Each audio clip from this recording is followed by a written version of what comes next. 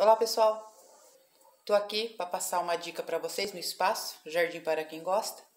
Como sabem, eu costumo passar dicas.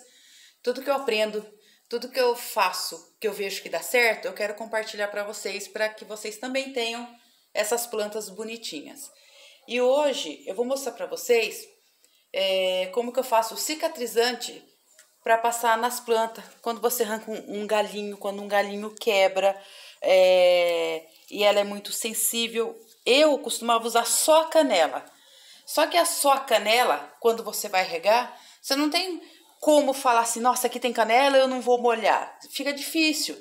Então, eu aprendi a fazer essa pastinha aqui e agora eu queria passar para vocês, para vocês também fazerem é, na casa de vocês. Aqui a minha tá acabando, ó. Eu coloco nesse potinho. Então, eu vou montar aqui essa pastinha. E é rapidinho, ó. A vaselina. O própolis. E a canela. O que que eu faço?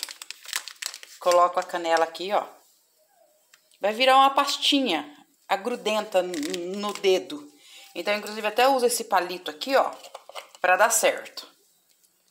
Aí, eu coloco as gotas. Ó, pessoal, não tem uma receita certinha, não, medida. Isso aqui não precisa de medida. Ele tem que virar a pastinha, tá?